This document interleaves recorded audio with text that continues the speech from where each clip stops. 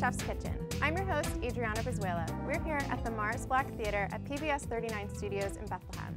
Today we have Chef Robert Wiedmaier of Marcel's in DC. Robert, nice to have you here. So glad to be here. Yeah, very excited. We have a beautiful kitchen today from Morris Black Designs, and I understand we're making some lamb. We are doing a lamb tenderloin that we're going to sear off here in a little bit, and then we're going to do a, a mushroom duxelle with sauteed spinach with garlic, and then we're going to wrap that in phyllo. Sounds delicious. Okay. So uh, the first thing I'm going to start doing is, uh, is we're going to clean this lamb here. Okay. So one of the things you want to do with these lamb tenderloins, I'm actually using the tenderloins, which are underneath the saddle, not the loins on top. Sure. So they're a little bit more tender and they're, they're and do smaller. they normally come this small? Yes, they're normally be about this small in any Okay. type of uh, lamb. So this is lamb, but if, you know if you were using veal or, or beef, And you're just cleaning off some of the the fat. silver skin. Silver skin. the right. silver skin. So we just take a little bit of that off.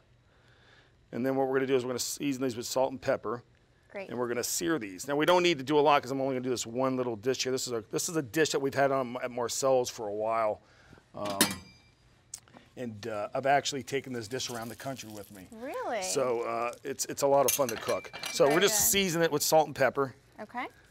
Okay. Do you want me Yeah. to get the pepper going? If you can get the pepper for me, great. Sure. Go ahead and put it right on there. All right. You know, seasoning is such an important part of cooking. You know, if you're not if you're not seasoning it, you know, it's really not going to taste as good as uh, you like should. lots of pepper? Just the right balance. Okay, just enough the right balance. amount. Just the right amount. Come on over here. So what you want to do with this is that silver skin on that you have to take off on this little bit of fat. Okay. So you just want to take the tip of your knife and just get that underneath that, and Mm-hmm. All then right. just slide that through there. Okay. You, you started like- it for like me. up. You're gonna make me look good. Up. There you go. Um, now, now go back the other way. And then do the same thing again. Go All right. forward and then backwards. Can I work at your restaurant now? Yes, you can come down and work. We'll put you to work. Very little right. pay. Okay. Well, you'll we'll- feed me though, right? We'll feed you. All right. And you'll learn something. Yes, I'm already learning a ton today. Can imagine being in the kitchen too. All Well, you know, a lot of times, you know, being in the kitchen, people are like, "Oh, I want to come and work in the kitchen." Then they actually get in the kitchen, as you probably know, and they're uh-huh. like, "Oh my God, this is a lot harder than I thought." we make you it know, look pretty easy. It's it's it's it's you know, it's like you know, hard work. right. You know, okay. you're, you're going around, you're you're constantly, you know, working and, and, and moving fast. Mm-hmm. There's no time to sit still like we are right now. then what we're going to do after that is I'm going to move this over here, and we are going to take this and get this fairly hot. Because what I want to do is just sear this, because we're going to cool this down, and so it's still raw so raw it's not going to be fully cooked, right? No, we're just going to sear nice it. sear, nice color. So- And are we searing it in just olive oil? Just a little or- bit of clarified butter. Oh, clarified butter, great. A little bit of clarified butter. Oh, you can see it's a hot pan. It's already Right, seizing so- up a little bit. So we're gonna get that just right about here. Just a little bit, not much. Quick sear. Yeah, if you, if you go too long with it, because we're gonna bake it in the oven, it'll be overcooked. You still want it to be medium rare. Medium In the rare. restaurant, we tell the clients that this will be served medium Yeah. Rare. They want it longer than that. Mhm. You know, it's it's just imagine you have to move quickly. I mean, these are smaller pieces, so right. too They, long, they, they don't take long. right. They don't take long. Very good. So once that's seared, we're just gonna let these cool down, which is just about there. That was really fast. Yeah, very fast. So uh, in making this dish at the restaurant, it's all about mise en place. It's about having everything ready Everything to go. ready to go, Your right. mushrooms done, your spinach done, your lamb seared, your phyllo. So you can just knock out 50 of these and you know really quick. Sounds good to Okay, me. so I'm gonna take these off right now. Okay. We'll just let those cool here. Let that rest a little Okay. bit. So now we're gonna do we're gonna do some garlic. Love garlic. Are you just gonna do a rough chop? Or are you gonna Yeah, we're just we're just gonna just take the back of the chef's knife here, and we're gonna smash these, great. and we're gonna chop these up very fine. So um, I understand you have a few other restaurants in DC. I do. Could you tell us a little bit I about do. those while you're chopping the garlic? Well, Marcel's being my first one, which is on Pennsylvania Avenue, is named after my first son. Just celebrated its 15 years. oh, that's awesome. And then uh, my second one, named after my second son, Beck, on 1101 K Street, just celebrated its eighth year, I believe. That's And great. Beck's 11, so we got it in there just in time before he found out that he had a, his brother had a restaurant named after him. um, so, chop the garlic, Okay. okay? Smells good already. Yeah, you gotta love garlic, huh? Everyone. And then we're gonna take shallots. We're just gonna cut these.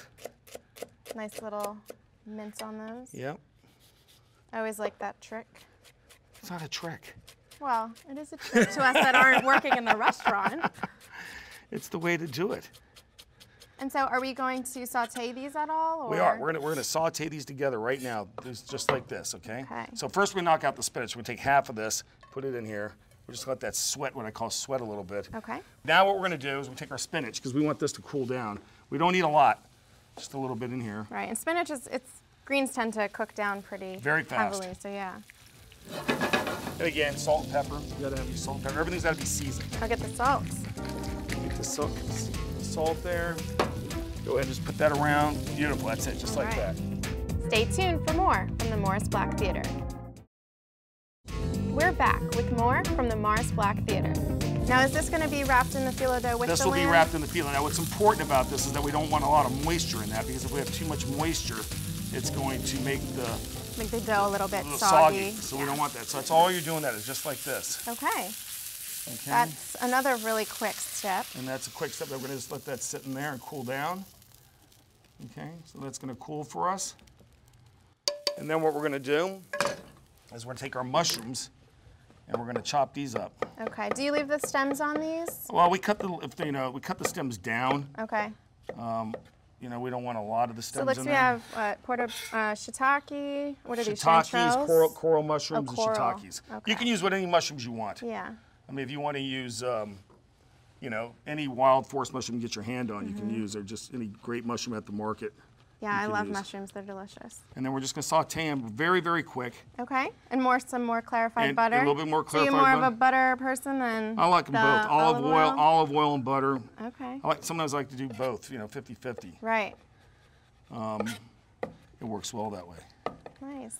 So I- um, we know we've had you here before, but how are you enjoying cooking on in this kitchen? It's beautifully designed by the Morris Black You know what? designers. It's better than Steve's last one, that's for sure. Yeah, know? it's beautiful. They've been in business for over 100 years. 100 years? Yes, and it, it's it's great. You think 100 years old, it might be you know outdated, but they've got cutting edge innovation. I absolutely love the red pop of color. Um, so I would say it's a very attractive place. yes, I love You it. Isn't it great? It's very nice. Very, very nice. And, um, you know, the setup here for cooking, doing a cooking show is even nicer. Yeah, absolutely. They have everything. So we got our mushrooms now. Get all the stuff out that we don't need. Okay. We're gonna put our shallots and garlic in here and do the same thing. So you you dust these down pretty fine, Yeah, very fine, because this is gonna be a compact little dish. right?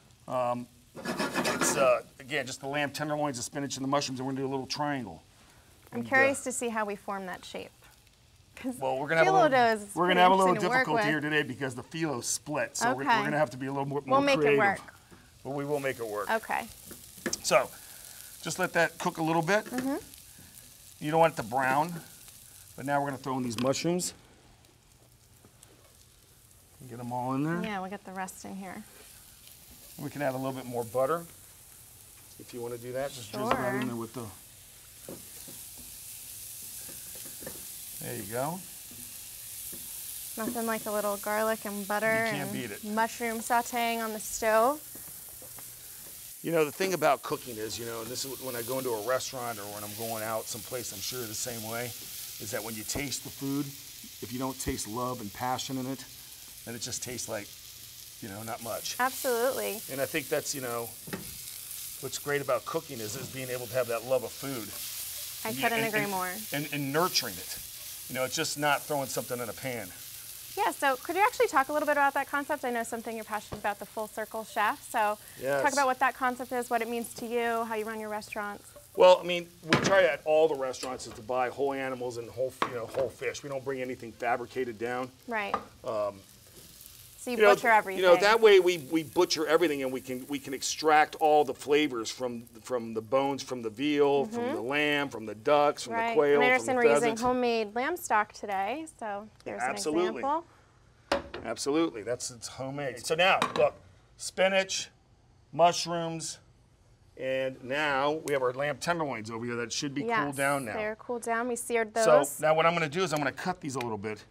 You probably ask me, why are you cutting those off? Yeah. Why are you cutting those Well, off? because I'm going to use those at the restaurant. I would use those for raviolis. okay. Okay. So, So you're go- just using the center for this phyllo. Yes, I'm just going to use these little pieces here. Where do these uh, baby carrots come into play? We're going to garnish those with that. Okay. Very nice. Okay. So now we got we have it like this. Okay. Mm-hmm. It doesn't look like a lot, does it? Looks like a little bit of But you know lamb little- tenderloin It's cut a, up. it's, it's a tasting menu, so we do this on our tasting menu. So this would be like your, your like final course. Uh, it's a little bit heavier than some after of- your before your cheese and your dessert and all that. You, this would be like your last little thing. Okay. Okay. Sounds like a nice way to end a meal. All right, now we're going to turn that off, Sure. and here's where we're going to have our little bit of fun. We got our working station over here. We got a working station here. We're going to take this and we're going to put a little bit of, of this Dijon mustard, or this Ghent mustard actually from Belgium on here. Wow. Just a little bit. And what is Ghent mustard? It's a mustard from the, the city of Ghent, Belgium. Okay. My father's Belgian. Nice. So that's the inspiration of a lot of your restaurants.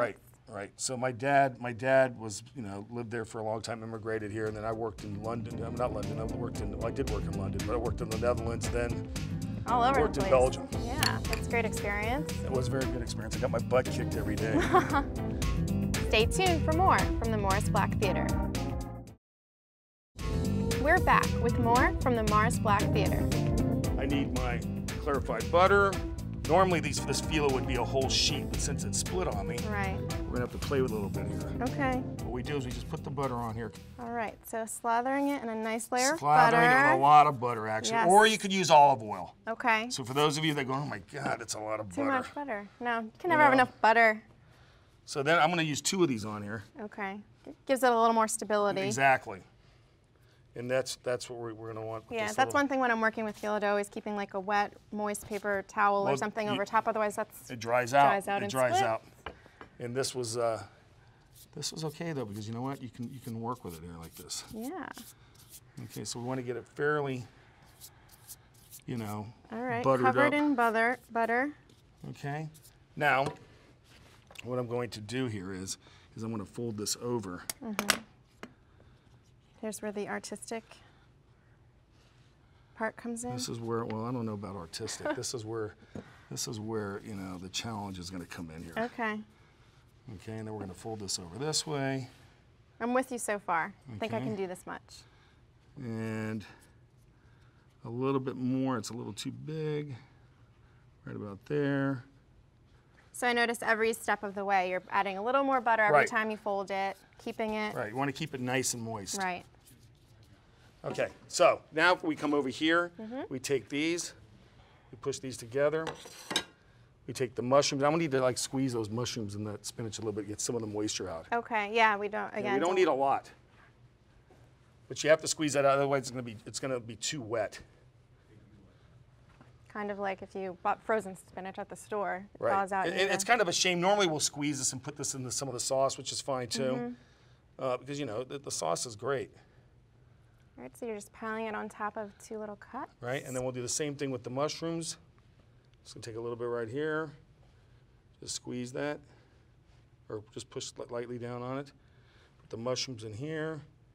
So you said you took this dish all around the country. Yeah, we did this dish for a restaurant. Well, we did it in Anguilla with a very Wow. Mm-hmm. famous chef by the name of Michel Rostang from Paris. And I did the dish, and then his chef de cuisine asked us if he could take it back to, to Paris with him. I said, sure. Really? Well, that's pretty I said, cool. absolutely. What an honor. So it was nice. So then we're gonna take it and bring it over here. All right, to our buttered phyllo dough. We're gonna turn it this way. Okay, so you have three now- pieces going So you can kind of, you know, you know, play around with this. Like you can squeeze it. You don't have to like be so gentle with the, with the lamb. And bring it around here, You're gonna start rolling. and then we're just gonna roll. And see, here we go. And I guess since the way the lamb's stacked, that's what kind of gives it that triangle Right, well, you're gonna, we're gonna, we're gonna do this. See this? We're gonna mold it. Okay, forcing it a And little again, bit. and again, don't be shy with your, with your butter on here. yes. I guess you can't feel too guilty. If this is on the tasting menu, it's not like you're eating too much of Exactly. the butter. Exactly. Very nice. You made that look pretty and then, easy. Well, you know what? I'd like to get a little bit more like that one there, and we're going to get it like that just by, by pushing on it. okay, Okay? it's looking good. Actually, you can go straight from this right to the pan Oh, and okay, then right so to it's the oven. immediately ready. Okay, and what we're going to do is just brown that a little bit more. Okay. And now we're going to go in the oven. then we're gonna take it out, we're gonna cut it, we're gonna put it on that plate, and we're gonna sauce it with this sauce. All right. So how long will it be in the oven for? About eight minutes. Okay. This is at, uh, I think we set it at 325, so it won't take long. Okay. So are you using, are you using a lot of? Um, I know you're Belgian inspired in your restaurants, but are you using a lot of um, local ingredients in terms of fruits and vegetables You know, we or garnishes? to, you know, we try to get as much as we can locally. Yeah, Mm-hmm. It's not, you know, it's it's it's nice to be able to try to say and do that. Right. You can't get it all the time. Back burner there. You, you can't get it all the time, but you, you try to. I mean, there's sometimes you can't. You know, the big thing is is local always better. Sometimes local's not better. Right. You know, that one's on. Oh, You got we got both on. All right, we're really okay, so cooking. we're just gonna saute a few carrots in here. Okay. Those have already been blanched. So you just blanch those in salted water and then cool them off real quick. Mm-hmm. And of course, we're gonna season with salt and pepper. So these little baby baby carrots. Little baby carrots. All right, I got the pepper. Is that good? That's good. All right. And then we're gonna put that on this plate right here when it comes out. So is the sauce going to be more of under laying underneath it, or are you going to top it with? No, I'm sauce? gonna I'm gonna just drizzle around it with the sauce. So with the spoon, you can see where the sauce is. Looks delicious. So you don't want it too thick and you don't want it too thin. Mm, You yeah, that's a very that? nice, really nice consistency. Yeah, Mm-hmm. it goes really well with it. Good stuff. Can't buy that in the store. No, you cannot buy that in the store. But you can buy it at my butcher's block in Alexandria because we Oh, make yeah? it there. Yeah. Oh, very You can't get good it. to at- know. I made a note of that. Very good. I Well, love that. you cheater. I need to try it. Now, the only thing about this now is we need a nice serrated knife, which I'm sure we have right here. Mm. Perfect. So you sell that? You said. We do at the butcher's block. We'll sell that. We'll sell uh, veal glace, lamb glace, bird glace. That's great. Because it's one of those things at home. You're not. It's, it takes a lot of time to make that. Absolutely. So if you can go to buy that and put it like and cook it and then put it in little uh, uh, uh, ice cube trays and put it in your freezer. That's such a smart Then idea. when you want to making a dish for a bunch of people, you right, you can just pull it out. pull it out. Great. So the carrots are cooking. Stay tuned for more from the Morris Black Theater. We're back with more from the Morris Black Theater. Let me see where we are. So what are you looking for to in, um, let us know it's done? Is it just you're just Well, you eyeballing know, it? it's, it's timing for me. I, I've got Okay. everything timed in my head. yeah, We're gonna go a little bit longer on here, just get this a little bit browner. sure. Is that And then we're just gonna cut that right in half. Now I got a feeling that I like my lamb really rare Right. to medium rare. I like medium rare also. Yeah. So Uh, you know, I, I said if someone orders that well done, we really kind of try to steer them another way. right. You know. Do you have other options if they're not? Well, we've got tons of Okay. options. We'll do it. We'll just tell them if you want the lamb, we can take it out of the field and do it like this and grill it, and it'll be nice and beautiful and Okay. not. Sounds delicious. See, that's what you want right there. Nice temperature on the pan. Yeah, perfect right now. And then then we'll finish these off in the oven. Okay. Okay, so you get it just like this. Mm-hmm. You have to have a really sharp serrated. Serrated knife. Okay. knife. You're gonna just cut right through the middle of it. Serrated work, knife works well with the phyllo dough, Right. cutting right through that. Okay. I think and then looking what we okay. do, and what we do is we lay this just That's like such this, a pretty color. and just like this. Now you can do this, or you can stand them up. I like it kinda like it. Depends that. on your mood in the moment. Right. And we got our little carrots here. They're nice and caramelized. I love. I like a little color on them like that. That's good.